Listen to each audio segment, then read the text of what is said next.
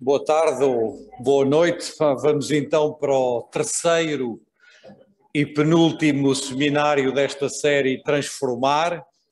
Hoje dedicado à universidade. É um tema, ao mesmo tempo que nos diz respeito a todos, mas também não é propriamente o tema principal dos, eh, das investigações dos doutorados em educação. Espero fazer uma apresentação que vos seja útil a partir de um, de um determinado pensamento sobre a universidade e, uh, e que isso nos possa permitir continuar esta partilha. Eu recebi várias mensagens ao longo destes últimos dias uh, de muitas pessoas, tenho procurado responder a todos e a todas, na verdade são mais todas do que todos, não é? Só recebi uh, de dois homens e recebi várias de, de mulheres, tenho procurado responder e tenho procurado ajudar naquilo que posso e naquilo de que sou capaz, nomeadamente com a indicação de textos ou até com alguma partilha de textos. Da, da semana passada, do, enfim, hoje o tema é a universidade, como eu estava a dizer, eh, com esta pergunta se ainda vamos a tempo, né? se ainda vamos a tempo de fazer da universidade uma coisa diferente do que ela é hoje, infelizmente, não é? Do, do que ficou da semana passada, deixem-me fazer cinco notas muito breves, porque isso resultou ou de perguntas que apareceram no chat, ou de. É chat que se diz, ou é bate-papo, é. É igual. Uh, uh, e, e, e, resultaram ou de pessoas que me fizeram essas perguntas depois por e-mail, mas que eu acho que vale a pena uh, partilhá-las convosco. São cinco pontos, não é? muito brevemente, ainda sobre o problema dos professores e da formação de professores. Não é? O primeiro, que foi colocado pela Brenda, tem muito a ver com a questão do espaço comum, do terceiro espaço, da dificuldade de construir um espaço comum e coloca ela depois também a dificuldade com que ela se deparou já de encontrar professores mais experientes que possam participar nessa espécie de socialização, de trabalho coletivo, para construir uma dinâmica de desenvolvimento profissional, nomeadamente dos jovens professores. E eu percebo bem o que, o, que, o que a Brenda diz, porque, na verdade, um dos problemas que existe nos professores é que há uma certa invisibilidade ou um menor reconhecimento daqueles professores que, dentro das escolas e da educação, se destacam um pouco, têm um pouco mais. Nós reconhecemos muito facilmente os melhores médicos, sabemos quais são os melhores arquitetos, sabemos quais são os melhores engenheiros, há, um, há uma espécie de visibilidade. No caso da profissão docente, há uma espécie de invisibilidade, não é? De, uh, dessas pessoas que são referências e, portanto, temos que ir à procura deles, não é? E temos que ir à procura deles e temos que os valorizar. Foi esse, em grande parte, também o sentido do que eu vos disse aqui uh, na terça-feira. A Tatiane coloca uma questão que me fez lembrar as minhas primeiras palestras no Brasil. E por falar em palestras no Brasil, eh, eh, dois ou três mensagens que eu recebi foi pedirem para falar um bocadinho mais devagar, não é? E portanto eu, eh, eu esqueço, eu quando estou no Brasil falo muito mais devagar, e as pessoas do Brasil sabem, não é? Mas aqui como estou num contexto português, tenho tendência a falar à velocidade portuguesa e isso às vezes dificulta uh, a compreensão. A Tatiana faz-me lembrar uma coisa que eu disse muito nas primeiras palestras no Brasil e depois deixei de utilizar essa brincadeira, que é uma brincadeira que veio do John Dewey sobre o professor reflexivo e porque ela coloca uma questão da experiência. Uh, e, e, que vem do John Dewey quando o John Dewey, alguém terá dito no final de uma palestra ao John Dewey o senhor está aí a falar dessas coisas, mas o senhor não é professor, eu é que sou professor, eu sei muito mais disto do que o senhor sabe, não é? Eh, e, portanto, epá, tenha um bocadinho de calma e tal.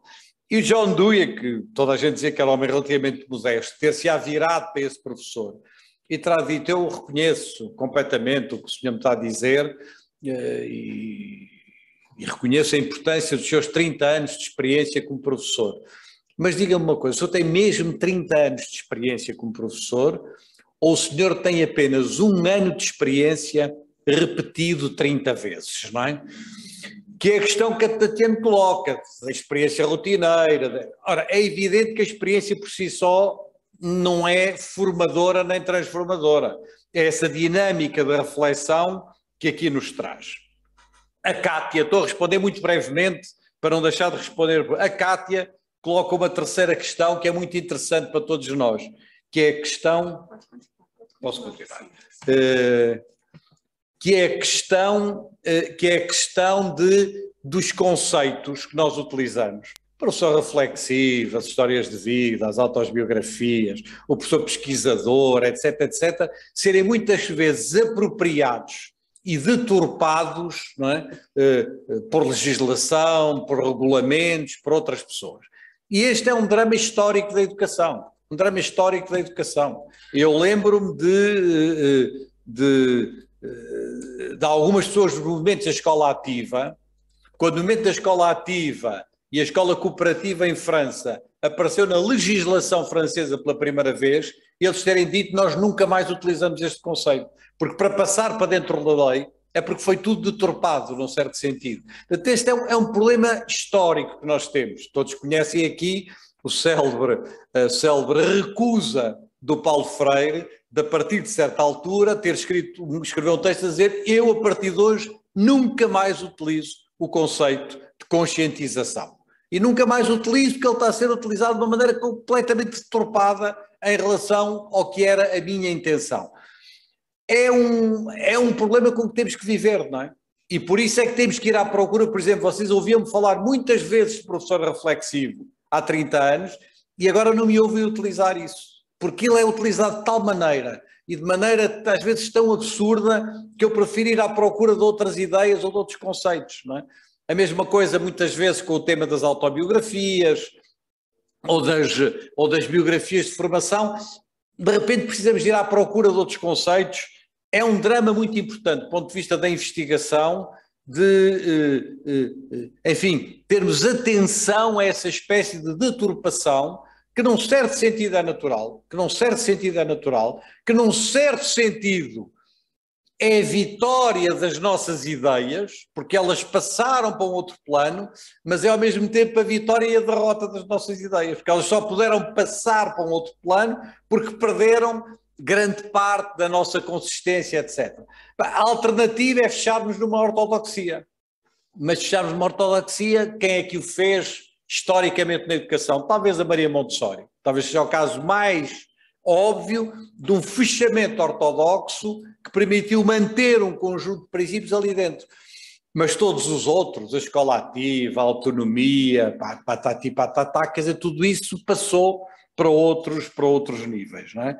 A Joyce traz uma experiência muito interessante do que ela chama uma constituição por adesão de professores universitários e professores de educação básica em torno de um projeto parecido com aquele da Casa Comum que eu falei, e é apenas para dizer à Joyce que é isso mesmo. Quer dizer, o ponto para mim é sempre um ponto, não é obrigar ninguém a, não se obriga ninguém a colaborar. É? Criam-se as condições para que as pessoas possam construir esses caminhos. E finalmente, Ana Maria Monteiro, e eu quero deixá-lo aqui porque há muitos colegas brasileiros que nos estão a ouvir. Ana Maria Monteiro, não sei se é Ana Maria Monteiro, minha colega da UFRJ, e se é, uh, deixo-lhe aqui um grande, um grande abraço, de, enfim, de, de, de admiração também pelo trabalho dela. Coloca um problema no Brasil de, às vezes, os professores estarem a ser acusados e denunciados por pais ou por alunos, etc. Eu devo dizer uma coisa e digo-vos aqui, como tenho dito muitas vezes no Brasil. Eu dei a minha primeira aula e comecei a contactar com as coisas da educação há 44 anos, né? já lá vai muito tempo, né? E vi muita coisa. Vi muita coisa em Portugal, vi muita coisa pelo mundo, vi muita coisa. Muita coisa boa, muita coisa má, muita coisa que gostei, muita coisa que não gostei. A coisa mais horrível que eu vi nestes 44 anos é? foi um vídeo no Brasil, é? de uma pessoa que era o alto responsável brasileiro e que acabava de ser eleito, a pedir aos alunos, aos alunos, a dirigir-se aos alunos de 6 anos, de 7 anos, de 8 anos, para filmarem os seus professores, se eles tivessem a dizer alguma coisa que eles achavam grave, e para os denunciarem, não é? Eu, eu, eu, eu, eu tenho pensado muito neste gesto, tenho pensado muito neste gesto e não consigo, mas é que não consigo mesmo, imaginar nenhum gesto que seja tão contrário a tudo que ao longo dos séculos, ao longo dos séculos, é? nós defendemos sobre a educação, é? a confiança, a confiança mútua, o respeito. Quer dizer, não consigo imaginar nada pior do que isto, e portanto, se é isto ou gestos destes que Ana Maria Monteiro está a referir, é evidente que a minha resposta, julgo eu, é uh, suficientemente clara sobre esta matéria, não é? Pois é, Joana, deixou de passar os slides, deixaram de passar. Vamos então. Vamos então à, à universidade. Vamos então ao tema da universidade. Ah, é aqui? Então, pois, ok. Em que vocês têm dois textos, um texto que já está publicado, outro que ainda não está publicado, e vai ser publicado aqui numa antologia que está a ser organizada pelo Jorge Ramos do O e por uma outra colega nossa. Uh, uh, pronto, mas os textos vocês têm, nos vão lendo. Eu vou retomar uma parte sobretudo um dos dois textos, e no fundo o que eu quero é perguntar-me aqui, à cabeça desta nossa conversa, o que é que aconteceu às universidades nas décadas de transição do século XX para o século XXI. Se eu pensar no meu primeiro doutoramento, 1986, meados da década de 80, é? a única coisa que eu vos posso dizer é que a universidade era muito diferente do que é hoje. As universidades do mundo eram muito diferentes do que são hoje. Nas, em pouco tempo, no fundo, no tempo da minha geração, é? no tempo, num tempo de 30 anos, última década, última década e meia do século XX, primeiras duas décadas do século XXI, houve uma mudança brutal das universidades. Eh, e as universidades são uma coisa muito diferente do que eram há 30 ou 40 anos atrás. E, quando digo que são muito diferentes, não estou a dizer que são necessariamente pior. Não, é? não ouviram o discurso do de antes é que era melhor, de antes é que era bom, etc. Porquê? Primeiro porque houve um crescimento impressionante das universidades, ou do ensino superior. Hoje há no mundo mais de 250 milhões de estudantes do ensino superior. 250 milhões de estudantes, assim, em números redondos, é cerca de 3,5% da população mundial. Estamos a falar de uma quantidade impressionante de pessoas que hoje são estudantes do ensino superior. E as previsões é que este número vá duplicar no prazo de 15 anos. E, portanto, que alguns pelo ano 2035 não sejam 250 milhões, mas sejam 500 milhões. Estamos a falar de uma massificação, de uma transformação das universidades, que é quantitativa, mas não é apenas quantitativa, é também qualitativa. Uma mudança desta desta dimensão não é apenas um crescimento, não é apenas uma mudança de escala, é uma transformação profunda da universidade e do sentido da universidade. Num certo sentido, se quiserem, esta massificação corresponde muito ao que foi há 60, 70 anos, não é? A massificação dos níveis do que os brasileiros chamam ensino médio, ou que nós chamávamos o liceu, ou pelo menos a fase, a fase final do, uh, do liceu. É? Esta, esta transformação é uma transformação impressionante, que é acompanhada por uma segunda transformação, que é ela também extraordinariamente importante, que é da centralidade cada vez maior da ciência, da inovação e da tecnologia nas universidades. Sempre houve investigação na universidade. Não sei, não tenho a certeza. Não, é? não tenho a certeza. Acho que em algumas sim, na maior parte não. Parte das universidades tinham uma debilidade imensa do ponto de vista da ciência e praticamente nada do ponto de vista da tecnologia.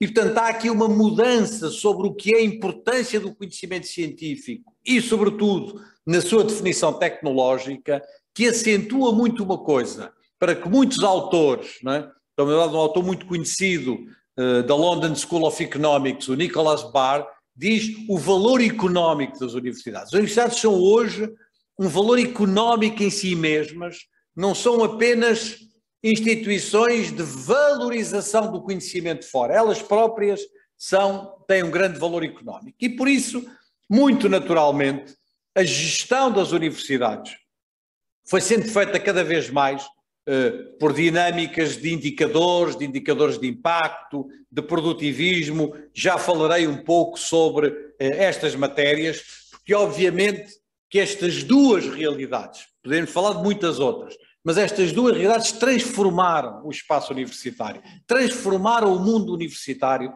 transformaram a realidade universitária. E para responder a uma pergunta de um colega nosso de Moçambique, eu quando falo em universidades, estou também a falar de politécnicos ou de ensino superior politécnico. Não é? Eu, pessoalmente, por um lado, não gosto da palavra politécnico, mas isso é, isso é um problema meu, não é um problema de mais ninguém. Não é? Eh, a palavra em si, eh, não gosto dela.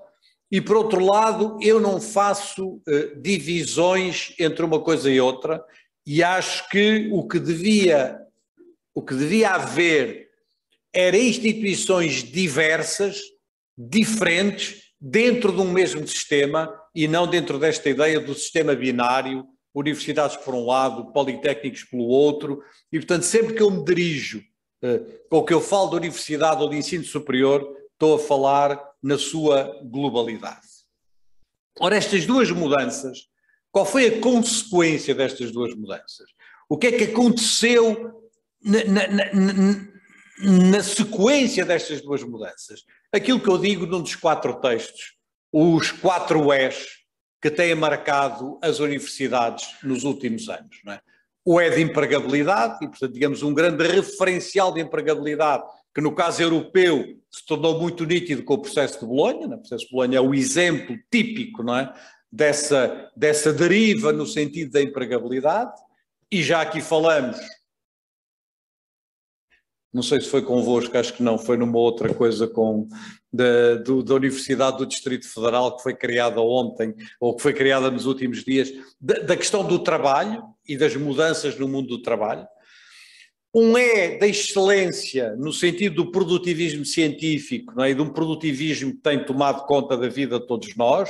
Um é de empresarialização das universidades, na sua gestão, na sua maneira de serem pensadas, de serem concebidas, caso português, com conselhos gerais, onde os empresários têm um lugar de destaque, e o é de empreendedorismo, é? no sentido que as universidades têm que ser empreendedoras, vocês encontram dezenas de livros sobre a universidade empreendedora, as dinâmicas todas que estão ligadas a isto, e que, por exemplo, julgo que era a Cíntia, na semana passada falava uh, sobre, essas, sobre essas dimensões. Eu não vou falar especificamente destas quatro coisas, e das suas consequências na maneira de pensar o trabalho universitário, porque elas organizam muito o texto número 5. O texto número 5, que eu publiquei uh, na Universidade do Minho, na revista de Educação, Portuguesa de Educação, sim, mas também numa revista da UFRJ no Brasil, e é esse link para a revista da UFRJ que eu vos dou, revista contemporânea de educação, creio, como eu elaboro bastante sobre estes quatro E's, eu não vou elaborar aqui uh, tanto sobre isso. Qual é o denominador comum destes quatro E's? E sobre isto eu gostaria, eu gostaria de elaborar um bocadinho mais, porque este é, é, é o ponto central da minha reflexão. E é um ponto um bocadinho. Eu vou tentar tornar fácil uma coisa que não é assim tão fácil. O denominador comum é uma tendência mais utilitarista e, sobretudo, mais imediatista. Não é? E o que é que eu quero dizer com uma tendência mais utilitarista ou mais imediatista? O utilitarismo vê-se na empregabilidade, uma utilidade imediata da universidade, vê-se no produtivismo académico, vê-se na maneira como são concebidos os modelos de gestão, vê-se também no empreendedorismo. Não há empreendedorismo a médio prazo. O empreendedorismo é, por definição, uma coisa para hoje para amanhã. Quer dizer, é uma coisa que é feita num tempo curto, num tempo imediato. Não é? Ora, justamente o grande problema das universidades, na minha opinião, hoje, é que perderam uma relação com o tempo. É?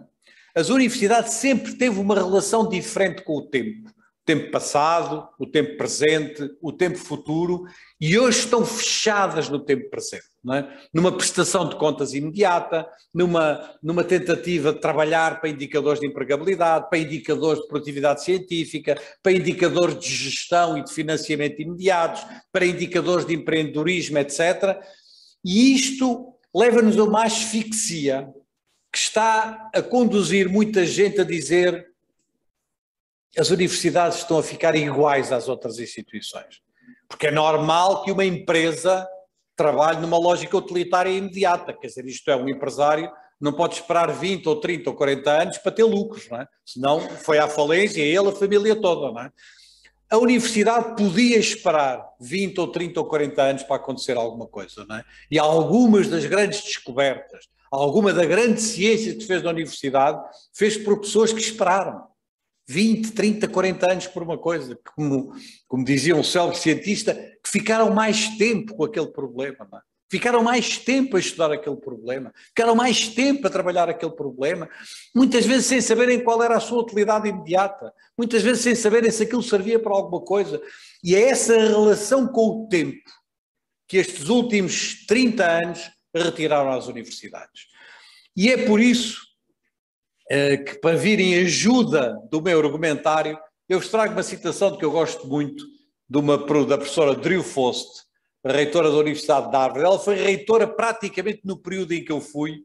Eu fui de 2006 a 2013, mas ela foi reitora há mais tempo, não é? Eh, e é uma mulher que eu ainda hoje visito e revisito os discursos dela, porque ela tem discursos absolutamente notáveis sobre a universidade, vocês muito facilmente encontram no site da Universidade de Harvard, disseram site da Universidade de Harvard, puserem o nome dela, vai desaparecer past president, antiga presidente, e aparecem os discursos todos que ela fez, não é? E um deles sobre a accountability, sobre esta ideia de que é preciso prestar contas, prestar contas sobre a empregabilidade, prestar contas sobre a produção científica, prestar contas sobre os indicadores de gestão, Accountability é uma palavra impossível de traduzir em português, como vocês sabem, não é? A única tradução possível é responsáveis ou prestação de contas, não é a única tradução, mas é uma tradução má, porque accountability é mais do que isso, não é? E a, e a dizia, sim, sim, as universidades são realmente responsáveis e devem prestar contas, mas nós no ensino superior devemos definir aquilo porque somos responsáveis, não é? E depois acaba o discurso dizendo: deixem-me arriscar uma definição. A essência de uma universidade é ser responsável, ou se preferirem, é prestar contas perante o passado e o futuro e não apenas, nem sequer primordialmente perante o presente. Não é? E portanto, a ideia de que esta inscrição, o que ela nos está aqui a falar, é da inscrição no tempo. Um tempo que ela sentiu, como eu senti, que nos estava a faltar nós estávamos a perder o tempo da universidade e estávamos a perdê-lo nesta agenda da modernização, que é uma agenda da modernização que foi muito poderosa em Portugal com o processo de Bolonha e depois com o regime jurídico das instituições de ensino superior, mas que aconteceu em todo o mundo. Aconteceu em todo o mundo, de uma ou de outra maneira, são, foi uma agenda que tomou conta da, da, da, eh, da dinâmica das universidades e uh, todas as universidades foram repetindo, uma atrás de outra, a mesma, a mesma ladainha, porque obviamente, porquê repetir esta ladainha? Por uma razão muito simples, não é? É que nenhum de nós aqui nesta sala, nenhum de nós, e já estamos outra vez com a questão dos conceitos, e a questão dos conceitos é muito importante na escrita das vossas teses, porque nenhum de nós aqui nesta sala se pode dizer contra a empregabilidade. Alguém aqui vai dizer que é contra? Quer que os alunos vão todos para o desemprego, são doidos, não é? Não podemos, não é? Alguém aqui se vai dizer contra a excelência? Não, nós queremos que as pessoas sejam todas medíocres. Não é? Quer dizer, ninguém se pode dizer contra a excelência. Contra a empresarialização ainda nos podemos dizer, mas ninguém se dirá contra a eficácia ou contra a eficiência. Nós queremos que as universidades sejam eficazes e eficientes.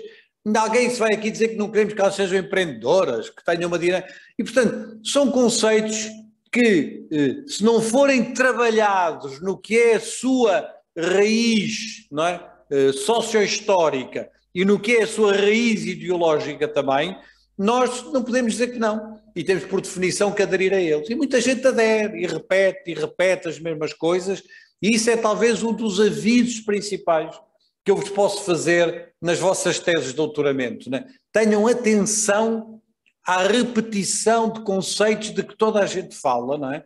E que parecem conceitos muito óbvios, parecem conceitos muito evidentes, parecem conceitos. E é preciso pensá-los melhor, inseri-los historicamente, ver como é que eles são utilizados, se quisermos dar um pouco mais de sentido ao trabalho de investigação e de reflexão que fazemos nos nossos doutoramentos em educação. Mas o que eu vos quero dizer hoje, e este é um passo, é um passo mais em relação aos textos que vocês têm. É um passo mais em relação ao texto número 5, porque no texto número 5 eu falei da agenda de modernização, e vocês veem que eu ponho ali entre aspas, porque obviamente também ninguém pode ser contra a modernização, alguém vai ser contra a modernização, ninguém pode ser, não é? ponho entre aspas para mostrar que a modernização, entre aspas, não é? Mas eu vou dar agora nesta conversa convosco um passo à frente. E vou dizer o seguinte: depois da agenda da modernização, o que nós estamos a viver hoje, durante a pandemia, um pouco antes da pandemia, é qualquer coisa que eu já chamaria a agenda, não gosto destas palavras, da pós-modernização. O que é que aconteceu a seguir? É? Esta agenda da modernização está a ficar ultrapassada por duas tendências que neste momento são as tendências mais fortes que podem ou não destruir as universidades. Podem ou não. Em tudo na vida, quem é de história, muitos que estão aqui são de história, eu e Justino Magalhães passamos o tempo todo a repetir isto, a história não é uma fatalidade. A história não é uma fatalidade, não há, não há fatalidades. Não é? As coisas podem acontecer ou podem não acontecer, dependem em grande parte de todos nós e da maneira como nos mobilizamos para que isso aconteça ou não. não é? Mas eu sinto isso. Não gosto muito de, não gosto muito de vos dar uh, de falar de coisas pessoais, é? Porque acho que o pessoal fica para nós, é? mas muito recentemente, uh, espero que ele não se zangue comigo, mas também não deve estar a ouvir, não é? Uh, o meu filho, que estava a iniciar uma carreira universitária, etc., chegou ao pé de mim e dizer, ó oh, pai, acabou-se, quer mais saber da universidade. Mas porquê? Não tens? Não, tenho hipótese, até me ofereceram vários contratos, não quero. Não se passa nada dentro das universidades. Não há, não há interesse nenhum. Não se passa nada, são as instituições mais velhas, mais caducas, mais sem interesse que existem. Eu tenho que gastar a minha vida noutra coisa. Coisas onde possamos ser criativos, onde possamos fazer coisas novas, onde possamos ter gente interessante com quem conversar.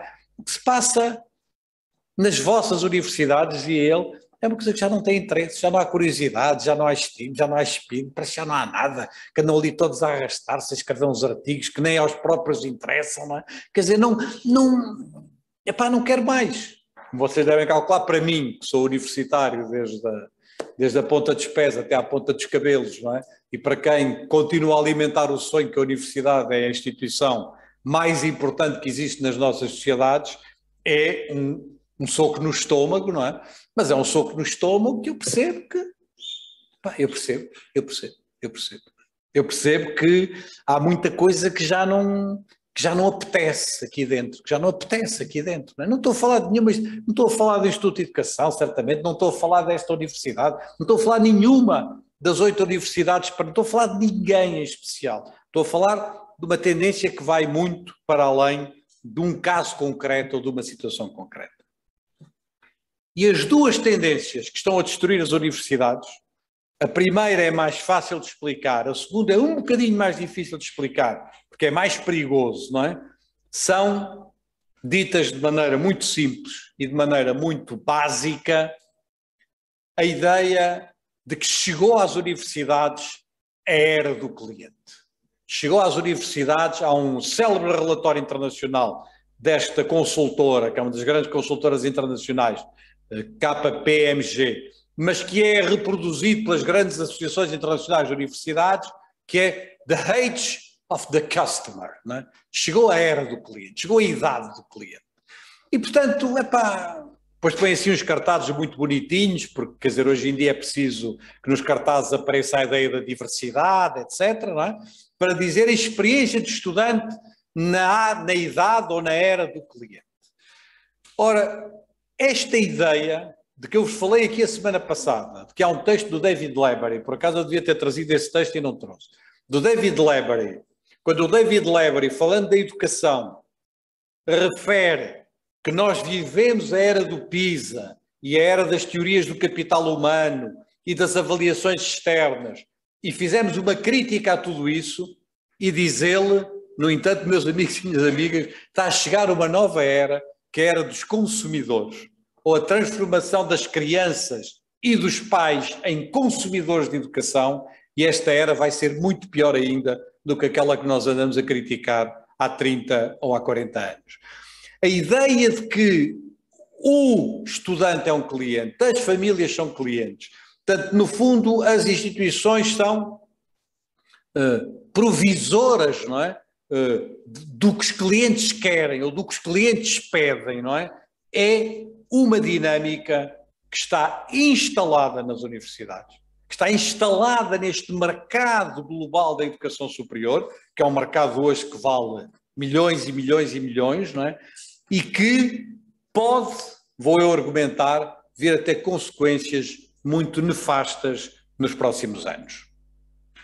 A segunda tendência é a ideia de que entramos agora na era do digital não de um digital feito de tecnologias, se eu puder falar assim, estou a pisar uns terrenos em que sou completamente incompetente e a Joana já está a olhar, já está a olhar assim para mim, como quem, é, mas do digital, como diz um autor, um autor, eh, um autor, enfim, conhecido, do digital dopado com o doping da inteligência artificial, não é?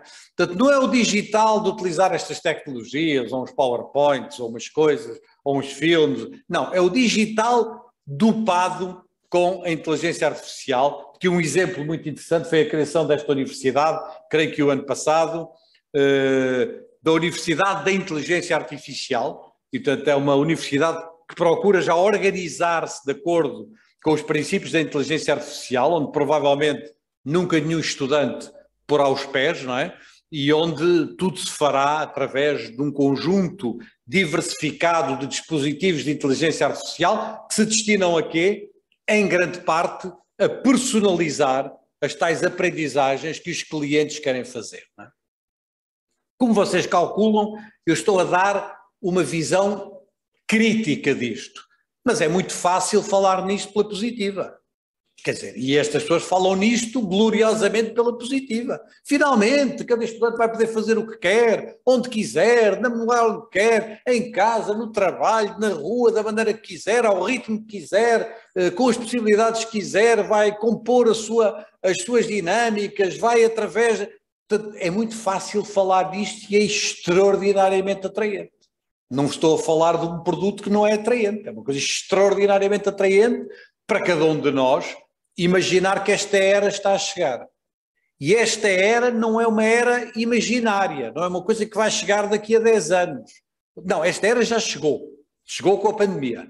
Esta pandemia acelerou essa chegada e, num certo sentido, colocou duas coisas que já estavam. Elas já estavam lá. A ideia do cliente, do consumo. O texto do Lebery é de 2018, é anterior à, à pandemia estas coisas já lá estavam, é? já lá estavam em, em gestação, mas a pandemia tornou-as uma espécie de evidência, de obrigação, tornou-as uma coisa relativamente óbvia. Ora, quais são os três problemas desta era do cliente ou desta era do digital? É? Os três problemas são muito simples, é? são muito simples e eu vou tentar explicá-lo também de maneira. Ups, de maneira relativamente simples.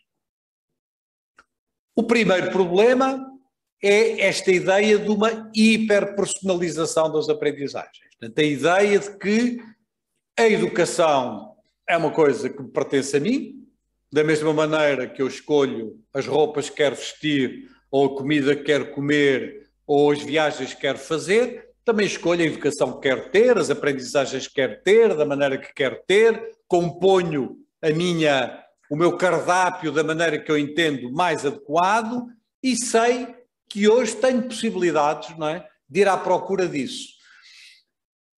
Num certo sentido, quem vive em instituições fechadas, com currículos rígidos, com aulas tradicionais que já não interessam para ninguém, não é? com um empobrecimento do ensino, facilmente é atraído por esta ideia facilmente é atraído por esta ideia. É uma ideia que, se calhar, muitos de nós aqui nesta sala dizemos: olha, prefiro isso do que estar a apanhar umas aulas que não me interessam para nada, e um currículo que não me interessa para nada, e a ter disciplinas que não me interessam para nada, e ouvir conteúdos que não me interessam para nada, etc, etc e tal. E, portanto, há aqui uma dinâmica de hiperpersonalização que a junção destas duas coisas, a junção da lógica do cliente e da lógica da inteligência artificial, nos estão a trazer e que já correspondem à prática de muitas universidades.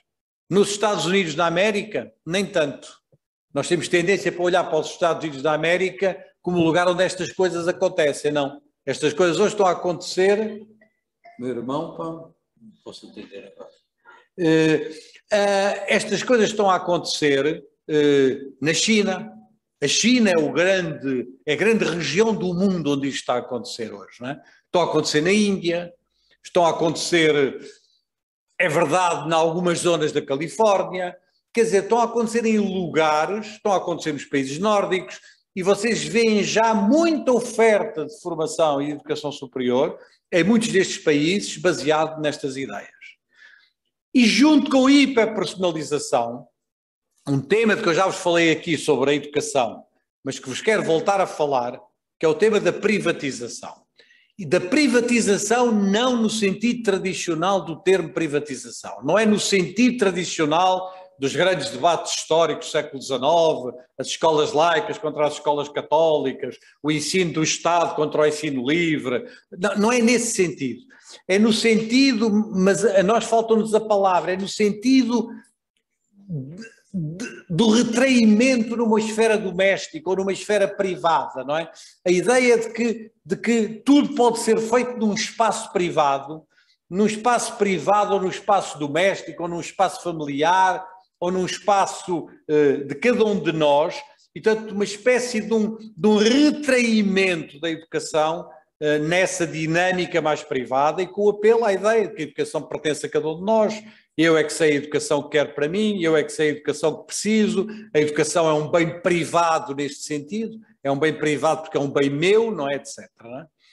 E, obviamente, um tema que hoje começa a ser muito debatido nas universidades, que é o tema, a palavra é horrível, peço desculpa, mas é a palavra que estamos a começar a utilizar, eu espero que encontremos outra daqui a pouco tempo, não é?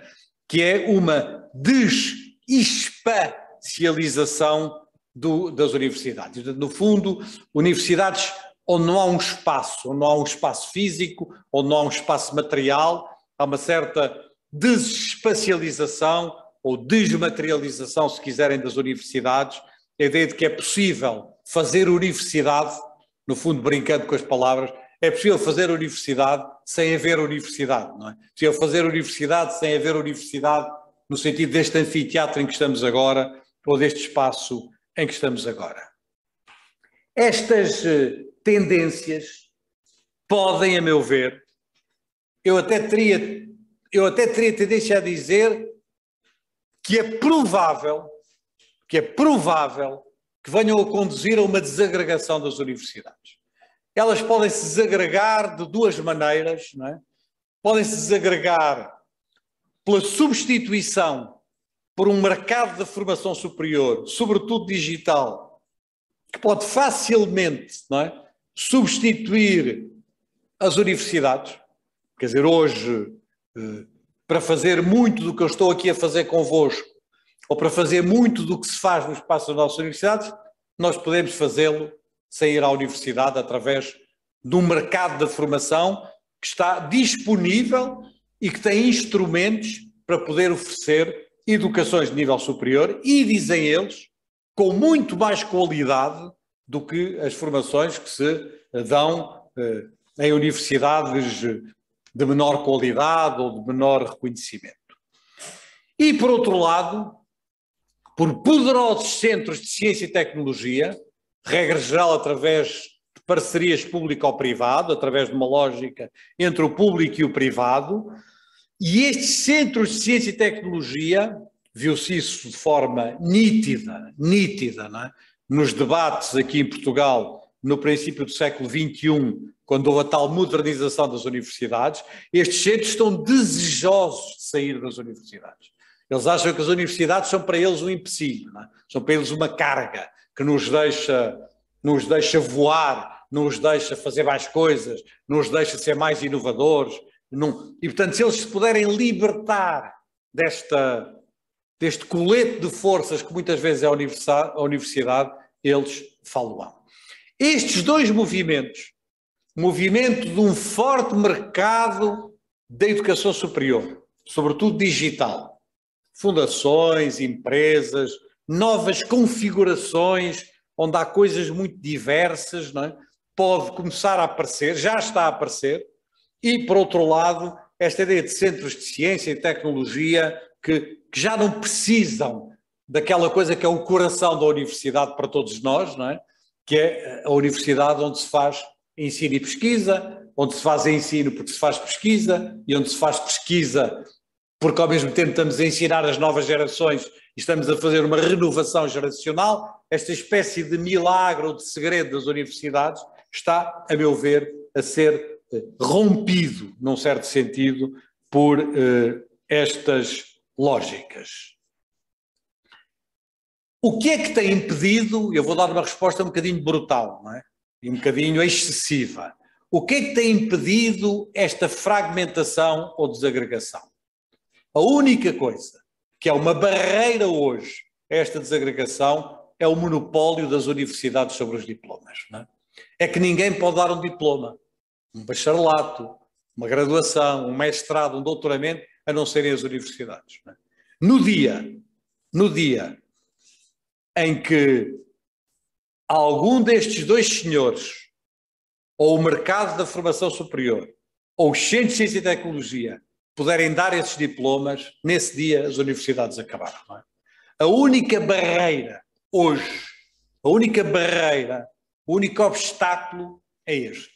E hoje, como vocês sabem, hoje, como vocês sabem, não estou a imaginar nada futurista.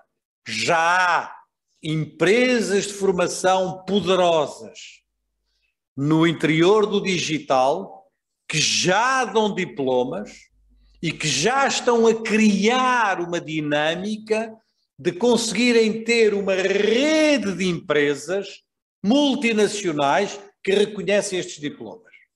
Claro que não é um reconhecimento do Estado, não tem ainda a força do diploma universitário, mas já estão a chegar lá. Já estão a chegar lá, não é? E já estão a dizer, e há muitas empresas importantes do mundo que já estão a dizer, não, nós preferimos um diploma destes apesar de não ter certificação do Estado, apesar de não ter, preferimos um destes do que da Universidade de Lisboa ou da Universidade de outro lugar qualquer. Isto não é uma imaginação futurista, está a acontecer hoje. Quando eu vos falo, está a estender-se como uma mancha de azeite. Está a estender-se como uma mancha de azeite. Por outro lado, como vocês sabem também, alguns dos mais importantes centros de ciência e tecnologia do mundo já podem dar diplomas universitários, nomeadamente doutoramentos, mesmo sem estarem numa universidade. São poucos, são poucos. Ainda não conseguiram ganhar esta batalha, não conseguiram, mas não é falta de tentarem. Aqui em Portugal, há 15 anos, houve tentativas fortíssimas para que certos centros de ciência eh, e de tecnologia, que não estão nas universidades, pudessem conceder doutoramento. E chegou a haver uma legislação nesse sentido, que felizmente não foi depois aprovada. Portanto, o que eu estou a falar é de uma realidade em que no dia em que as universidades perderem este monopólio, muito provavelmente, eh, muito provavelmente esta fragmentação ou esta desagregação eh, eh, acontecerá de maneira muito rápida e muito imediata. Eu disse que não ia trazer aqui muitos autores. Eu tenho resistido ao longo destas três sessões e resistirei até à última a fazer disto uma, uma enfim, um rol de bibliografias e de autores e de... Mas não posso deixar de vos aconselhar a leitura deste livro. O Michael Sandel é um livro absolutamente extraordinário, justamente sobre o problema da certificação universitária, dos diplomas universitários. Aquele deu um título uh, muito provocatório, A Tirania do Mérito, não é? Porque, obviamente, o mérito é outra daquelas palavras com a qual nenhum de nós pode estar contra. Ninguém vai estar contra o mérito, ou estar contra o talento, ou etc. E ele, no entanto, explica como a ideologia do mérito foi uma ideologia que causou profundas desigualdades ao longo do século XX, como ela cavou desigualdades imensas, e isso teve a ver, em grande parte, com a maneira como foi concebida a certificação universitária ou dos diplomas universitários. Claro que isto tudo nos conduz a três coisas: a hiperpersonalização, a privatização, as dinâmicas que eu vos tenho estado aqui a falar, não é? Da desespacialização, nos conduzem muito naturalmente a três coisas. Conduzem-nos ao fim de um encontro humano. Este encontro humano arrisca-se a desaparecer, arrisca-se a desaparecer no meio, eh, enfim, destas evoluções diversas. Estamos preparados para isso? Estamos preparados para isso? Não estamos preparados para isso? Não é? Estamos preparados para, para, num certo sentido, perder a nossa humanidade é? ou o nosso humanismo a determinados níveis? Para além do fim do encontro humano, a ausência da ideia do comum, de que eu aqui já vos falei a semana passada e quero voltar a falar-vos hoje, de um comum público, não é? O comum para mim está sempre junto à ideia do público, não é? Uh, a velha frase que em muitos textos meus percorre uh, de uma filósofa extraordinária norte-americana, uma senhora chamada Maxine Green, que num texto, sobretudo a propósito da Hannah Arendt, diz: Não consigo imaginar nenhum propósito coerente para a educação se há alguma coisa comum não acontecer num espaço público. É? E esta ligação entre o comum e o público é para mim absolutamente central, e já vos falarei um pouco mais disso. E finalmente, a ideia de uma espécie de instrumentalização da ciência, de uma instrumentalização da ciência ao serviço apenas da tecnologia, e eu não estou aqui a criticar a tecnologia, mas uma ciência que tem vindo a ser instrumentalizada e, e, e, que tem vindo a ser menos pautada pelo tempo do conhecimento universitário e do conhecimento científico. O que é que se pode fazer? O que é que podemos fazer? Eu acho que é fácil imaginar aqui as três coisas que eu vos vou dizer, não é? E a primeira coisa que eu vos vou dizer, obviamente, é a valorização do encontro humano. A valorização do encontro humano, é? do encontro humano e da sua, do seu enrique, do enriquecer este encontro humano. Mas que seja mesmo um encontro humano, que não seja o que se passa muitas vezes nas universidades agora, é? Que seja mesmo uma valorização deste encontro, do debate, da discussão, da curiosidade, do tempo para irmos à procura de coisas, não é? É absolutamente central. E para isso nós precisamos de valorizar a pedagogia do ensino superior. Precisamos de perceber que quem está numa universidade não é, é, é um professor, é alguém que tem uma responsabilidade de, de, de inspirar essa relação eh, entre um mestre e um discípulo, de construir esse encontro e felizmente eh, nós temos, eu acho, aqui em, no Instituto de Educação da Universidade de Lisboa, uma pessoa como o Jorge Ramos do O, eh, e o trabalho que ele tem feito, acho que é exemplar do ponto de vista teórico e do ponto de vista prático, nos seus seminários também, do que é que significa este encontro numa universidade, do como é que podemos construir este encontro numa universidade, como é que podemos construir uma pedagogia do ensino superior. Eu não vou passar o filme e não vale a pena, já estou meio atrasado e não, acho que não vale a pena. Mas aconselho, quer dizer, eu já vos tinha falado neste, neste vídeo, é um vídeo, eu pensei que era 3 minutos, mas é de 8 minutos. É um vídeo que está disponível numa coisa chamada Vimeo. Pronto, é uma coisa, não sei o que é, não é? Uh, mas sei que clicando nisto se vê o filme, não é? E uh, o filme está, ele é em inglês, mas está legendado em francês, não é? Pá, eu devo dizer que sou apaixonado por este filme. Já o vi várias vezes, são oito minutos, não é? Que é no fundo um filme em que eu acho que diz tudo sobre o que é o encontro humano e o que é a pedagogia do ensino superior e uh, uh, o título, aliás, é Como Costumava Ser, As It Used to Be, e, e vejam, porque é muito fácil, é só para. Isto, se eu clicasse aqui, ele aparecia mas é pá, eu vou baralhar isto tudo com os online e não sei o quê, não vale a pena, vocês depois veem em casa ou no telemóvel e... Uh... Pá, mas que horas é que são?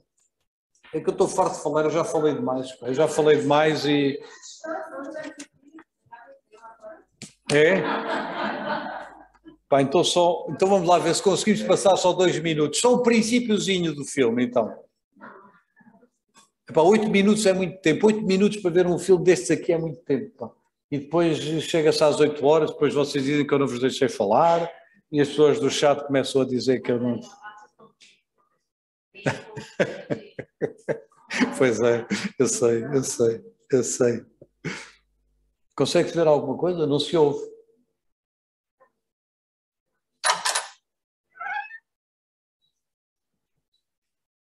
Vocês vão ver pelo princípio logo o que é que vão perceber o tom disto. Mas o filme está muito bem feito, muito bem feito.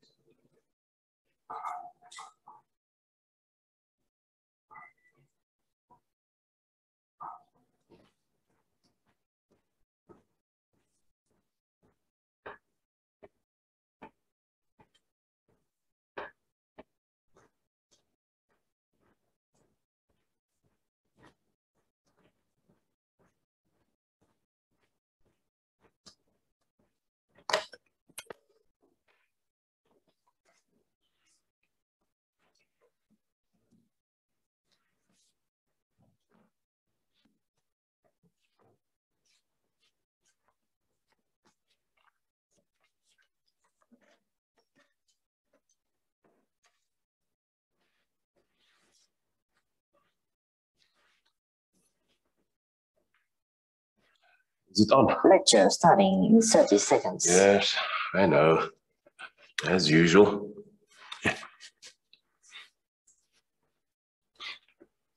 Right. Yesterday's lecture ended with the demise of the ANC in the year 2021. Today we're going to look at the effect of the 21st century on arts and culture. The aspects of arts and culture that was Oops. significantly affected by the 21st century were literature and cinema. And cinema. Literature and cinema. Are you lost? No, Are you looking for somebody, perhaps? Okay. Well, uh, literature and cinema. Literature and cinema, wh- wh- what are you doing here? I'm following the history class. Okay. Right, uh, where was I?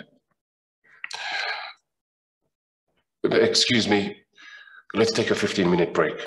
Bem, e por aí vai, depois continua o filme, vocês depois veem o resto do filme, mas já percebem qual é o script do filme, é? E é muito interessante depois eh, a, a evolução do resto do, do resto do, do resto do filme, porque acaba justamente com a valorização do encontro e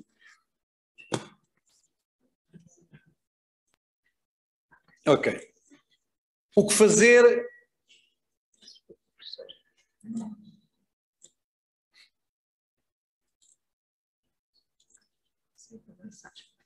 É? Obrigado. Valorizar o encontro humano é a primeira coisa que é preciso fazer se quisermos escapar a essas tendências que eu defino como possíveis ou até mesmo como prováveis. É? Depois precisamos de valorizar o comum público. Não é? E isto é talvez hoje o debate que mais me interessa. Mas é um debate sobre o qual eu teria que ficar aqui muito tempo, não é? E vou por isso dar-vos apenas um, um lamiré deste debate. É? O comum, que é o comum da diversidade, já o disse a semana passada, é o comum do trabalharmos em comum, não é? É o comum do que é que fazemos em comum uns com os outros, vindo de lugares diferentes, de origens diversas, de tudo o que é o acolhimento dessa diversidade, mas que pomos isso em comum. E isto é o contrário, é o contrário da lógica da privatização de que eu vos falei há pouco. É? da lógica do retraimento no espaço privado. É? O comum é justamente a capacidade da partilha, é? é a capacidade de, de nos educarmos com o outro, através do outro, pelo outro e a criação destes espaços de enriquecimento a esse nível. Eu poderia dizer-vos mil palavras sobre o comum, mas digo-vos as palavras cooperação, colaboração, coletivo, convivialidade, já que a disse a semana passada, a partir do célebre texto do Ivan Illich, pá, que vale muito a pena reler. É um texto de 1973, talvez, não é? 73, mas é um texto que se, vê, que se lê de uma maneira absolutamente notável, não é? Uh, e que se, que se lê com muito proveito hoje. Ou poderia falar-vos da inclusão, tema que, ou das interdependências, ou da participação, ou da cidadania, ou do público. Não é? Isto é, poderia falar-vos de muitas maneiras de declinar a ideia do comum, mas a ideia do comum para mim é a raiz da educação. Eu não consigo imaginar uma educação privatizada nesse sentido. Uma educação em que eu sou o cliente da educação e ela é um bem privado para mim, sou eu que me educo, sou eu que aprendo, a aprendizagem é minha. Claro que a aprendizagem é minha. Claro que sou eu que aprendo. Claro que há uma dimensão da autonomia que é central, mas é autonomia com os outros, não é autonomia em substituição dos outros, é autonomia em partilha, é autonomia em colaboração, e isto parece absolutamente central, e isto de levar-nos-ia, que é um outro tema que eu não vou aqui explorar, mas que é muito importante, à reconstrução dos ambientes educativos, seja nas escolas, seja nas universidades. Num ambiente educativo como este, é muito difícil este trabalho de cooperação, de colaboração, de partilha. Portanto, nós temos de reinventar os espaços universitários, eh, os ambientes educativos, para que muitas destas coisas sejam possíveis. E por último, e por último, o que fazer? Valorizar, e eu gostaria de vos deixar este apontamento, que foi uma coisa em que eu investi muito tempo nos últimos anos da minha vida, a valorização da ciência aberta. Eu critiquei há bocado uma certa instrumentalização da ciência, permitam-me agora que fale numa valorização da ciência aberta. Eu acredito, posso estar enganado, que nos próximos anos a grande agenda de combate democrático do ponto de vista da ciência vai ser a agenda da ciência aberta. Foi por isso, aliás, que quando cheguei à Unesco em 2018, eu levava duas ideias no bolso. Duas ideias no bolso. Numa mão, levava a ideia do novo relatório sobre os futuros da educação, de que vos falei aqui. Na outra mão, levava a necessidade de uma recomendação da Unesco, e uma recomendação, um instrumento normativo internacional sobre a ciência aberta. Na altura disseram-me, é impossível fazer essas coisas, vai demorar 20 anos, vai demorar 30 anos. Eu disse, eu só cá estou três, então temos que fazer em três, não é? E as pessoas riram-se, acharam que era impossível, as duas coisas foram feitas. O relatório foi publicado, a recomendação sobre Open Science, o relatório foi publicado no dia 10 de novembro deste ano, ainda não fez um mês. A recomendação sobre a ciência aberta foi aprovada no dia 15 de novembro deste ano, faz agora mais ou menos três semanas. É? E esta recomendação da ciência aberta é central, porque a ciência aberta é um conceito que não quer dizer apenas a abertura da ciência. Claro que quer dizer a abertura da ciência, quer dizer o acesso, o acesso livre ao conhecimento. E o acesso livre também aos recursos digitais. E o acesso livre também à produção dos softwares e se calhar dos hardwares do ponto de vista do ponto de vista tecnológico, porque enquanto estivermos dependentes, não é, de softwares, de produtos que são feitos com vista a outros interesses, é muito difícil assegurar uma certa democratização da ciência. Quer dizer a divulgação científica, quer dizer a educação científica, quer dizer uma ciência cidadã, quer dizer o debate sobre a diversidade epistemológica ou as diferentes formas de conhecer e de produzir conhecimento, quer dizer o multilinguismo, que é absolutamente central para escaparmos desta, desta espécie de monolinguismo em que estamos. Quer dizer a confiança na ciência, quer dizer a democratização da ciência. Isto é uma agenda que vai muito para além do que se poderia ler na palavra ciência aberta. É uma, é uma agenda que hoje nos coloca frente a realidades novas e a realidades novas na organização das universidades e realidades novas na organização do nosso trabalho.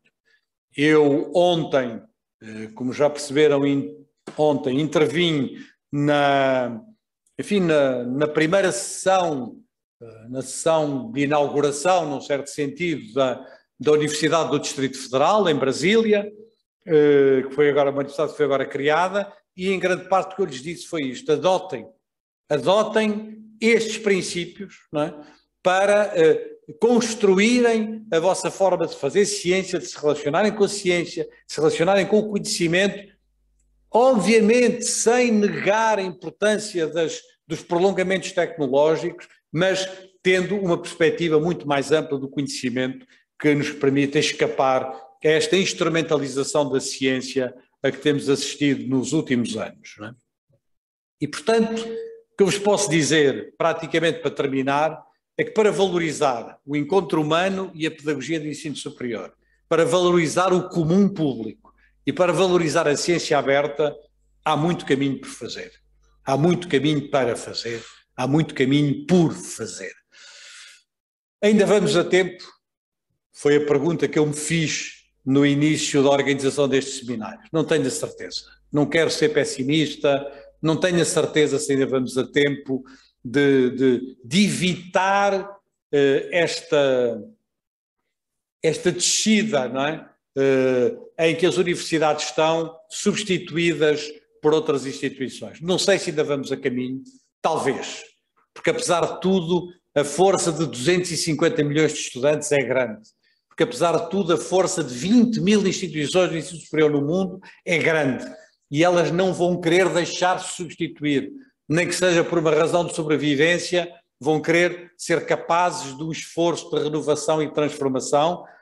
Depende muito de nós todos, depende muito de nós todos e cada um de nós uh, pode fazer uh, um bocadinho, não é? Uh, um bocadinho no seu canto, no seu lugar, na maneira como escreve as suas teses, na maneira como pensa o seu trabalho como professor, nas prioridades que dá, em cada gesto dentro de uma universidade, cada um desses gestos conta. Num certo sentido, este caminho tem uma razão de ser e foi dela que, ainda que não vos tenha falado explicitamente dela, foi dela sempre que eu estive a falar.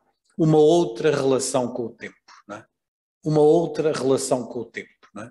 Se não formos capazes de ter uma outra relação com o tempo e vivermos este tempo do imediatismo, este tempo de um frenesim do imediato, este tempo em que prestamos contas de coisas amanhã, temos que justificar tudo amanhã, o que fizemos, o que não fizemos, a cada ano, a cada mês, a fazer prestação de contas, esta espécie de, de frenesi em que não nos damos o tempo para pensar não nos damos o tempo para conversar uns com os outros, não nos damos o tempo para errar, o tempo para errar, para fazer coisas que não estão certas e ir para outro caminho, não é?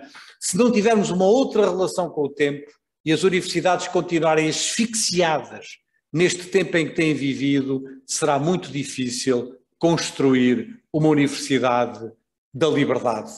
E a universidade, se não for da liberdade, não é de coisa nenhuma, não é? liberdade das instituições para escolherem os seus caminhos, que hoje não têm, que hoje não têm, porque estão todas sujeitas às mesmas avaliações, aos mesmos rankings, às mesmas lógicas. Liberdade dos professores para poderem optar por coisas tão simples e que parecem tão evidentes. Quer dizer, eu hoje, com a minha idade, não tenho as mesmas prioridades como docente e como pesquisador que tinha quando tinha 30 anos. Há 30 anos tinha outras prioridades. Porque é que eu tenho de ter uma carga horária um esquema de funcionamento igual ao que tinha há 30 anos e toda a gente é igual. Porque é que eu tenho que ser igual ao Justino, e tenho que ser igual à Joana, e tenho que ser igual à, Ana Isabel, e temos que ser todos iguais, temos todos a mesma carga horária, mesmo de 10% para isto, 30% para aquilo. Não é? Porquê? Porquê é que não há uma liberdade não é? de podermos perceber que somos diferentes e que somos diferentes até ao longo da nossa história de vida. Que somos diferentes ao longo da nossa história de vida. E que a liberdade dos cientistas e dos pesquisadores para escaparem a estas métricas que os estão a asfixiar, é? a liberdade de conhecimento, a liberdade de participação, no fundo é da liberdade que eu vos falo quando vos falo do tempo, é da liberdade que eu vos falo quando ainda acredito no poder e na força desta instituição que é a universidade. Ouviram muitas vezes dizer como reitor, mas eu não vou acabar dessa maneira, vou acabar de outra. Mas não resisto a dizer, não é?